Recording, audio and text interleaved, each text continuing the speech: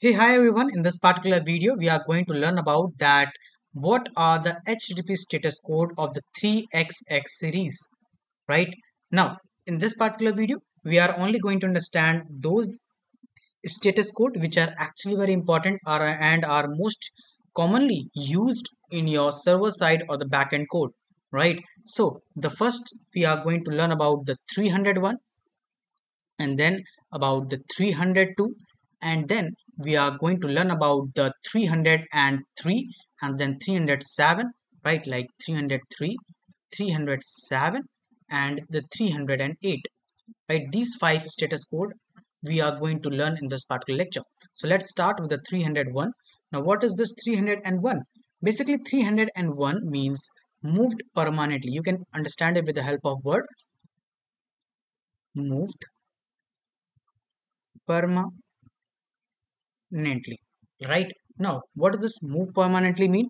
Basically you can think of it like let's say i'm trying to access a website right after so long time right? I have some kind of url right? I have some url uh very like i have used this url very long time before. So it is a very old url and i'm trying to use it in my website but my website has actually now shifted to some other domain right to other domain which is the new url so in that particular case what your server does is basically it directly do what? It directly move you from the old url to the new url right?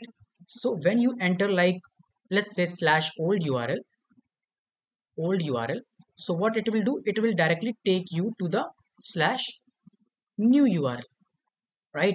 Not on this particular old url so that is what uh, when this thing works basically it uh, we gives the status code from the server side of 301 right? Now let's move forward and let's talk about the 302 right? Now this 302 means the temporary redirect. Temporary don't mind my writing right? I'm just writing so fast. So temporary redirect. Now what does this this mean? Basically let's say let me give you example. You can understand it better. Let's say i'm having my instagram right? I'm having my instagram or i want to change something in my profile right? But i have not made the login. I have not made the login. I'm directly trying to access my profile and trying to make some changes right? In that particular case what will happen? When you enter this slash profile it will redirect you to the login page. It will redirect you to the slash login. Right? Uh, you have seen that right many of the time. Like simply like uh, let's say that you are on a youtube right and you are trying to uh, click the like button right? But you haven't uh, sign in basically. So when you click on this like button that is slash like in that particular case it will take you to the slash sign in right? So in this case what is happening? This temporary redirection of your url and this is what occurs in your 302 status code. Means you are not completely or the permanently redirect to some other url you are temporarily taken to that particular url and when you uh, make the login and then you try to access it yes you can access it. Very access it very uh, easily right? So yeah this is all about 302 let's move forward and talk about the 30 and 3 what is this?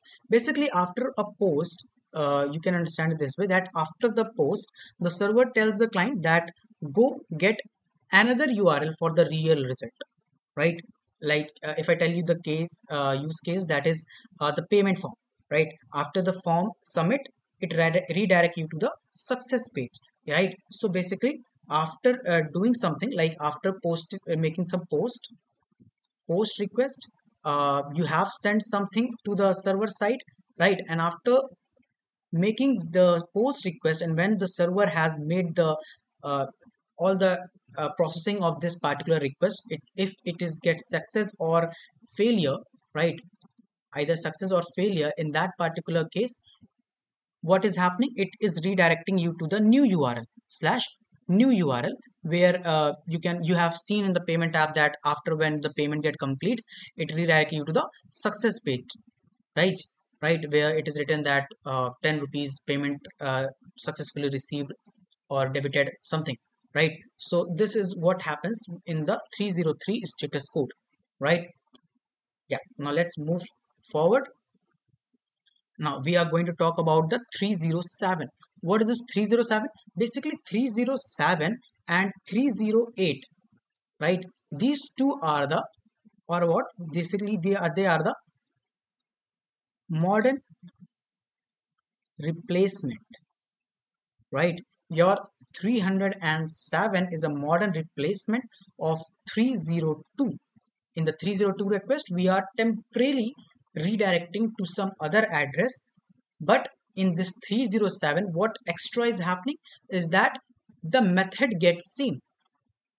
Method gets same. That means if you are making the uh, request of post right? In that particular case when it will redirect to some other uh, address even then your method of the post will be the same right? Similarly in the 308 it is that modern replacement of your 301 right? 301 and here also it, everything is same. Just one thing that the method gets same. Got it um, that means if you are making some get request or something else uh, when it redirect to the uh, new url even then also your uh, method will be same that is get. Got it? Now this is all about your 3xx series. I have explained you every single status code right? Uh, so i hope you understood the concept very clearly. If you do then make sure that you hit the like button and uh, subscribe the channel. Uh, we will meet in the next video very soon. Till then goodbye